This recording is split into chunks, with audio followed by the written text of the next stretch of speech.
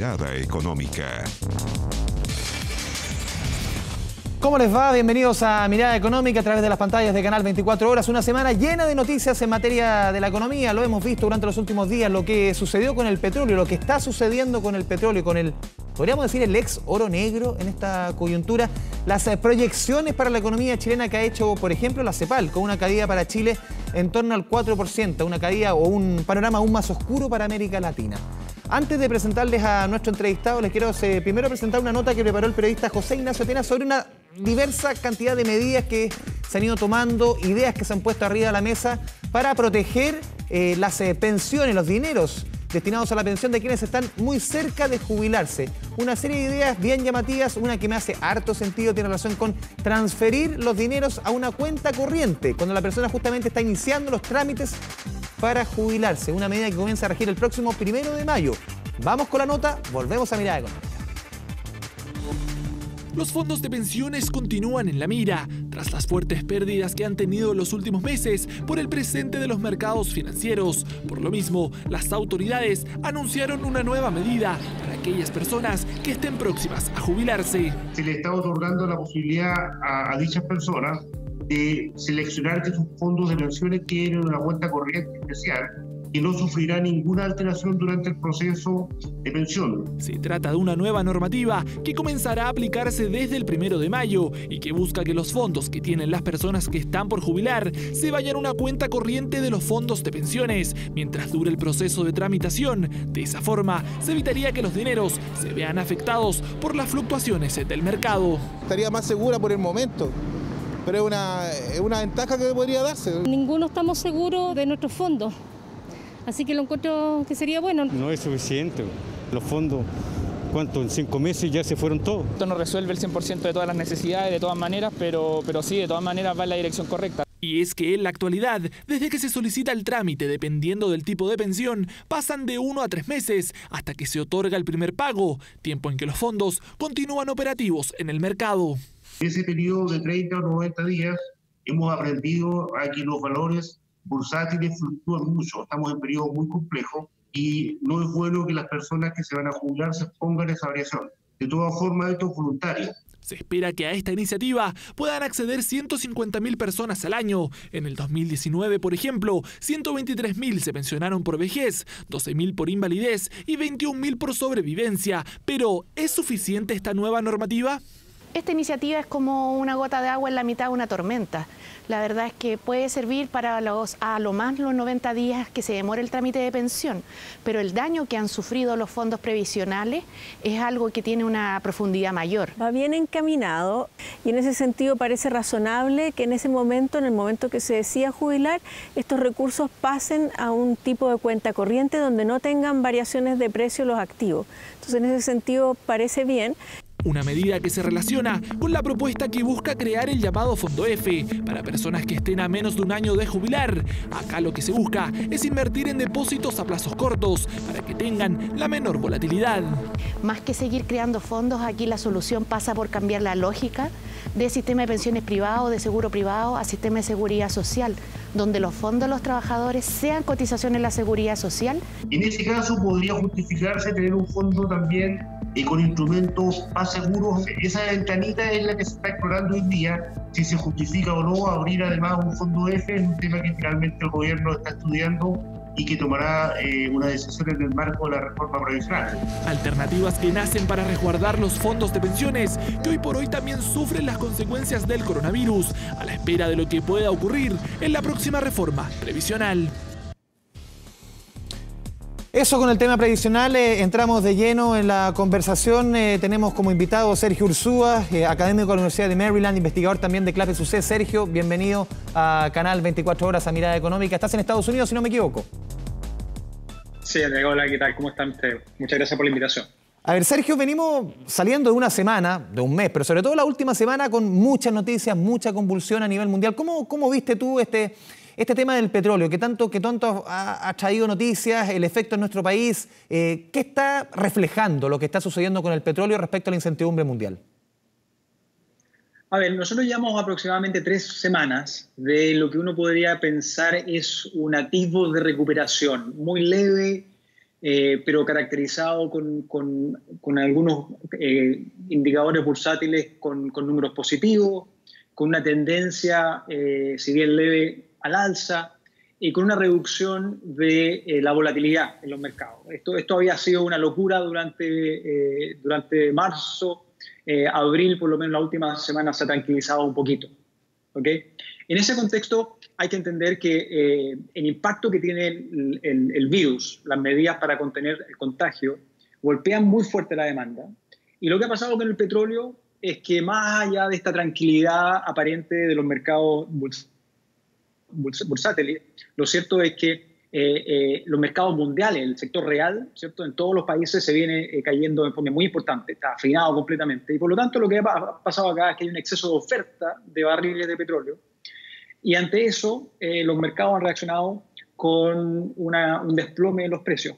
Eh, eso ocurrió con, algunos activos eh, futuros, son un término técnico, en, los mercados de, metales, en el cual se transa el, crudo, pero es una alerta a, todo el mundo de que el frenazo de esta economía es, muy potente, es muy importante, que más allá de esta tranquilidad aparente hay unas fuerzas del mercado por abajo que nos indican que, que esto viene muy frenado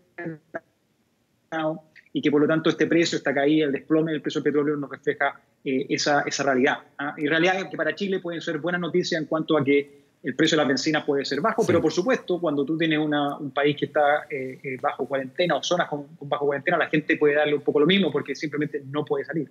Sergio, a ver, hemos conocido las últimas horas cifras respecto a la petición de seguro de desempleo, por ejemplo, en Estados Unidos, una cifra que, es, que, da escalofríos. Uno dice es la primera economía del mundo, 26 millones de peticiones, eh, casi 27 durante las últimas cuatro o cinco semanas. ¿Qué es lo que está reflejando eso en Estados Unidos? ¿Qué efectos puede tener en términos políticos, no solamente en términos económicos, que ya lo estamos viendo? E insisto en el punto, estamos hablando de la primera economía mundial.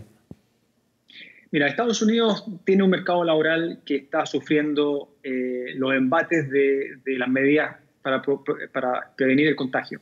Las cuarentenas eh, en distintas ciudades de Estados Unidos, distintos estados, se han notado. Y eso se ha traducido en una caída muy importante en la actividad económica y, como tú bien decías, Andrés, en, una reducción importante en el empleo.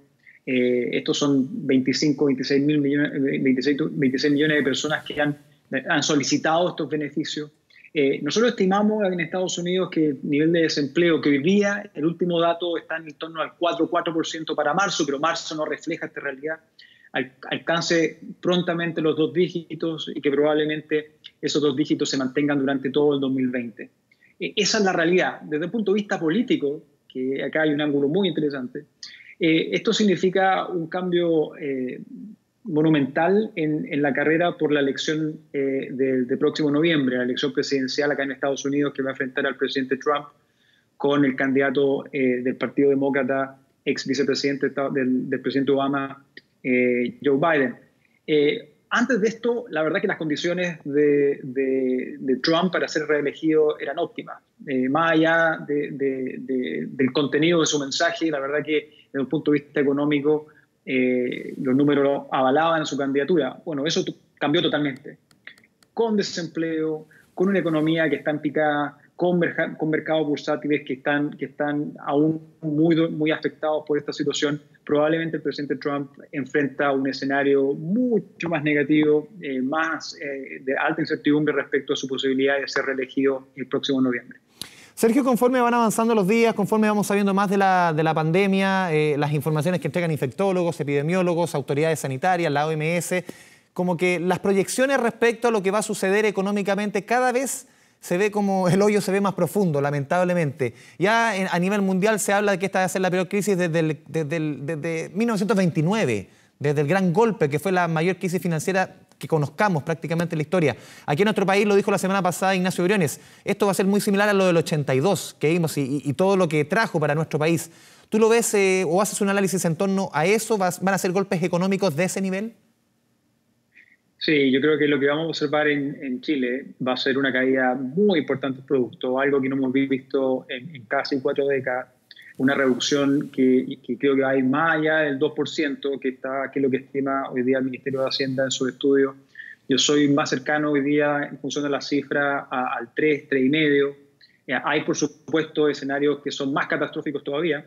Y la incertidumbre de esto es propio de la incertidumbre del virus con, que, ha atacado al, al ser humano. no sabemos muy bien cuánto dura, cuál es el ámbito de contagio, eh, cuánto esto afecta a grupos específicos de la población, niños, ¿cierto? adultos mayores, sabemos que ahí hay un, ángulo de, mucho riesgo.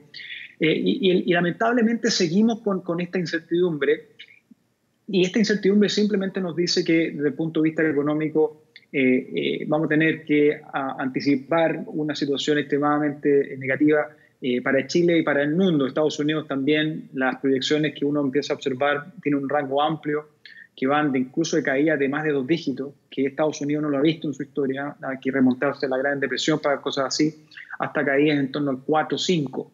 Eh, ese golpe para efectos de la economía mundial, eh, eh, Estados Unidos es un, un, fuerte, un potente motor de crecimiento para el mundo, es muy importante. Y para Chile, lamentablemente, eso simplemente va a significar un doble desafío, no solamente enfrentar la crisis local producto de este de este infame eh, virus, sino que también los impactos mundiales que, este, mm. que, esta situación están significando. Así que a los compatriotas solamente desearle, eh, digamos, ánimo eh, y, tratar de traducir esta incertidumbre en, riesgos, que, es un poco distinto. Los riesgos se pueden controlar.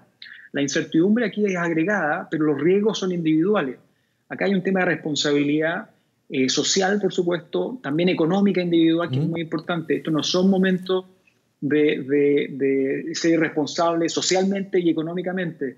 Hay que tratar de, ser muy ordenado, mantener las cuentas eh, eh, eh, con, digamos, con lupa, que, no se, que los números calcen, ¿cierto? Porque probablemente lo que vamos a observar durante los próximos meses va a ser una situación que hay generaciones de chilenos que no conocen, que no han vivido y que por lo tanto van a tener que aprender lo que significa la escasez, la pobreza y lamentablemente, ¿cierto? Eh, la, falta de, servicios y productos básicos por primera vez. Hay una, discusión la semana pasada, lo conversamos, por ejemplo, con Axel Christensen también desde Estados Unidos. El rol del Estado. El rol del Estado, aquí se ha visto que en todo, en, nuestro país, en Latinoamérica, en Europa, en Estados Unidos, el rol del Estado está siendo vital como el que está de alguna manera reanimando o va a servir de reanimador de la economía. Ese rol del Estado, entrando casi a una discusión ya también ideológica, ¿tú crees que se va, a mantener? va a ser, eh, va a ser coyuntural, algunos hablan de este, que esta crisis va a ser en forma de B corta, otros dicen que en forma de U, y eso va a depender también el tiempo en que el Estado sea un protagonista fundamental. Aquí el Estado juega un rol esencial. Este, este el Estado está hecho para estas circunstancias. el sector privado está golpeado, tiene imposibilidad de acción, eh, está golpeado por las medidas que el Estado ha tenido que tomar para contener la propagación del virus. Y por lo tanto acá hay una responsabilidad del Estado eh, indudable. Y, en todo el mundo, tanto desde el punto de vista de la política fiscal, los esfuerzos que puede hacer el Estado en términos de transferencias para familias, para empresas, ¿cierto? pequeñas y grandes, eh, como monetario, ¿cierto? la acción del, Banco Central en, términos de mantener la, la liquidez son esenciales. ¿Cuánto esto va a durar? Esta, lamentablemente los tiempos los pone el virus, no los pone, mm. no los pone la economía, la economía responde, baila a, los tiempos del virus. Lo que creo que sí es muy importante, y, vuelvo a un, elemento que te mencionaba anteriormente, es que aquí hay que ser ordenado, y el Estado también tiene que ser ordenado en este contexto de, por supuesto, mayor gasto. Pero en ese contexto de mayor gasto, porque esto probablemente se va a prolongar más allá de lo que nosotros tenemos, eh, eh, hemos eh, anticipado, producto de esta incertidumbre, el Estado tiene que mantener las cuentas, si bien están reflejando un esfuerzo, lo más controladas posible, porque tú no sabes cuándo esto va a tener, realmente va a explotar. Y si tú equivocas el, momento, te puedes perder opciones y acciones de políticas que, que, ven, que sean necesarias para determinado evento. Y por lo tanto aquí también hay un llamado de, responsabilidad en el contexto de, mm. de, esta pandemia, ¿cierto? esta crisis sanitaria es que no sabemos cuándo realmente se van a tener que concretar todos esos esfuerzos. Tenemos que ir a la primera pausa aquí en Mirada Económica. Volvemos en segundos con más información de la economía. Esta conversación con Sergio Ursúa.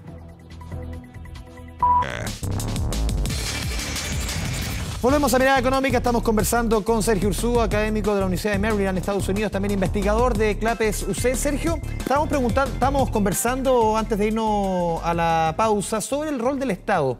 Y te quiero preguntar también por el rol que ha cumplido el, eh, el, ministro de Hacienda, Ignacio Briones, las medidas económicas, obviamente de la mano con el presidente Piñera, pero ¿cómo has visto lo que ha planteado la moneda, por lo menos como este, estos primeros dos paquetes económicos? Porque uno piensa y asegura que van a venir más, obviamente. Bueno, sí, claro. Eh, lo que ha hecho el ministro Briones es básicamente eh, echar a andar eh, todas las acciones del Estado conducentes a poder aliviar lo que significa esta, esta, este contagio, ¿cierto? El virus. Tanto desde el punto de vista del apoyo al empleo, que aquí va a ser fundamental. Mm. el, impacto que tiene la contención del virus sobre el mercado laboral lo estamos viendo con las cifras de peticiones de seguro de cesantía, ¿cierto? Y de, la Dirección del Trabajo. Eh, eso es una, eh, hay que anticiparlo y creo que en ese sentido eh, la autoridad en este caso ha anticipado precisamente esa situación. Se va, eso se va a, sentir muy pronto. Desde el punto de vista de la empresa, acá qué, duda cabe que hay que tratar de ayudar al sector real de la economía eh, donde están las fuentes de empleo, que es lo que genera, ¿cierto?, al final del día la posibilidad de contratación. Y por lo tanto yo veo con bastante buenos ojos la, la, intención, ¿cierto?, las medidas para efectos de poder apoyar a aquellas empresas que van a sufrir una caída eh, brutal, ¿cierto?, en, mm. su demanda, eh, la posibilidad de tener cero ventas durante, durante no solamente varias semanas, sino que eventualmente varios meses, la posibilidad de apoyarlo a través de transferencias, ¿cierto?, a través de créditos blandos, eh, eso parece hoy día eh, esencial. Es además consistente con lo que está haciendo la mayor parte del mundo eh, que tiene conciencia de lo que significa este virus. El, el, único punto que acá hay que, insisto, las medidas del Estado son muy importantes, creo que en ese sentido Chile lo ha hecho bien, lo que va a ser fundamental es además tener muy claro, ¿cierto? ser extremadamente transparente en mostrar cuánto va a costar, cómo se va a financiar, ¿cierto? ¿Cuál va a ser el impacto de largo plazo de esto? Eh, porque no nos engañemos, los esfuerzos que se están haciendo en estas circunstancias, sumados a los esfuerzos que ya se habían realizado a partir de la situación que vivió el, país en octubre, eh, noviembre y diciembre y parte de enero, ¿cierto? Eh, va a significar una mochila para Chile muy importante en el largo plazo. Y eso se va a tener que pagar. esto que se está haciendo ahora es un esfuerzo monumental que va a requerir un esfuerzo monumental en el largo plazo. Estos niveles de gasto no se van a poder mantener en el largo plazo. Es necesario que la clase política, el Congreso, los parlamentarios tengan conciencia respecto de esto y que controlen su instinto, ¿cierto?, de gastar para efectos de todo. Los recursos son limitados, siempre son escasos y aquí lo importante es priorizar. Y creo que desde, esa perspectiva lo que ha hecho la autoridad es apuntar a donde hoy día están los daños más importantes. Eh, ya veremos en el largo plazo, pero en ese largo plazo va a ser muy, insisto, no quiero ser majadero acá, pero va a ser mm. muy importante eh, tener claro cuánto costó, dónde están los recursos, el financiamiento, qué cosas están bajo la línea y sobre la línea. Aquí hay un tema técnico muy importante, pero, pero hay cosas que, que no entran en, en, las cuentas fiscales porque van bajo la línea. Es un tema de, de creatividad contable que, que hay que empezar a sincerar, porque hay muchos gastos que hoy no son ni, siquiera entran en el presupuesto. Hay que tener claro cuánto va a costar. Sergio, también hay una discusión que va entre lo económico, lo político, lo que traíamos, la discusión que traíamos antes del coronavirus, la discusión constitucional, la discusión sobre reformas profundas en nuestro país. ¿Cuánto va a cambiar esa discusión, eh, a tu juicio, con esta pandemia? Dependiendo de cuánto golpee la economía, pero ¿cuánto, cuando volvamos, cuando volvamos del coronavirus, ¿Cuánto va a cambiar, tú crees, la discusión en nuestro país? Bueno, va a depender eh, de la profundidad eh, y el impacto que tenga esto sobre la población. Creo que lamentablemente va a haber mucha gente en Chile que lo va a pasar muy mal producto de esto. Esto creo que además va a ser prolongado, no va a ser una cosa de, semanas, sino que esto se va a extender durante varios meses cuando llegue el invierno. eso sería lo, lo esperable lo esperable. E, en esas circunstancias creo que aquellas personas que miraban a, Chile como un modelo fallido, que miraban la necesidad de eh, reconstruir, refundar todo, probablemente se van a encontrar con la sorpresa que producto de esa institucionalidad que existía, de esas mismas reglas que probablemente generaban malestar, ¿cierto? van a ser aquellas que los puedan, les puedan permitir solventar este, este cataclismo. Chile hoy día tiene una posición única en América Latina para efecto de hacerse cargo de este problema. tiene recursos, tiene ahorros, y, eso, y eso no es eh, una cosa circunstancial, eso se produce por la construcción de un sistema eh, económico de reglas, de cuentas de ahorro, de seguros, ¿cierto? Que, de nuevo, en el contexto latinoamericano eh, se distingue.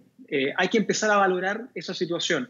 yo creo que lamentablemente esta, esta, esta situación va a permitir, en, lo traumático ¿cierto? y logроso que puede hacer, eh, reconocer, valorar más muchas de, las cosas, de los logros que, ha realizado el país y que desde afuera se están empezando a mirar. Esto, por supuesto, está partiendo. Hasta el momento Chile aparece como uno de los países que ha manejado la situación de mejor forma. Eh, estamos al principio del partido, eh, pero por lo menos en este instante Chile parece que está jugando bien y está jugando bien no porque esto sea una cosa, insisto, circunstancial. Está jugando bien porque entrenó por mucho tiempo eh, para efecto de hacerse cargo de este tipo de circunstancias. Eh, y eso la gente lo va a empezar a valorar. Los pifieos yo creo que van a pasar a ser aplausos si es que efectivamente esto se mantiene y se lleva de la forma que se ha llevado hasta ahora. Sergio, tú hablamos hace un rato en términos de empleo. Quizás es, es el ítem que más, más sensible por lejos en toda esta discusión. Ya las previsiones se habla de que nuestro país podría llegar fácilmente al 14, 15, incluso algunos dicen 18%. ¿Tú crees que va a andar por ahí eh, en términos de desocupación para nuestro país? Sí, mira, eh, yo, creo que, yo creo que sí. Yo creo que vas a tener, eh, vas a tener un aumento muy importante en el desempleo. Sorprendería muchísimo que, que no fuese el caso, en función de los números que hemos visto, de las caídas en algunos sectores sería muy, muy sorprendente que, que, la situación no implique un desempleo de dos dígitos. Yo en el pasado, eh, a, a, la luz de, los, de las visiones eh, negativas, ¿cierto? respecto de la, de la, violencia y el impacto que eso tuvo, en la economía, yo confiaba en que la economía iba, iba a remontar en enero y, y afortunadamente así, lo, así fue. En estas circunstancias yo creo que, que, va a ser muy difícil tener una recuperación eh, o evitar el impacto de, esto sobre el mercado laboral. Eh, van a haber sectores que van a estar muy afectados. Eh, todo el ámbito de servicio va a tener un impacto importante. Ya lo hemos visto en restaurantes, por ejemplo, que han sido parte de esta discusión. Mm. Hoteles, por supuesto, que, es un rubro importante. Turismo. creo que ahí vamos a tener un impacto. Tenemos que ir cerrando. Muchas gracias por esta conversación, por estos minutos. con Mirada Económica, con Canal 24 Horas, un gran abrazo y obviamente ojalá que salga lo, lo mejor para nuestra economía en este camino difícil que se viene. Que tengas una muy buena tarde. Absolutamente. Muchas gracias a ustedes por la invitación. Un abrazo. Así vamos cerrando este Mirada Económica. Sigue la sintonía del canal 24 horas porque aquí siempre es hora de noticias.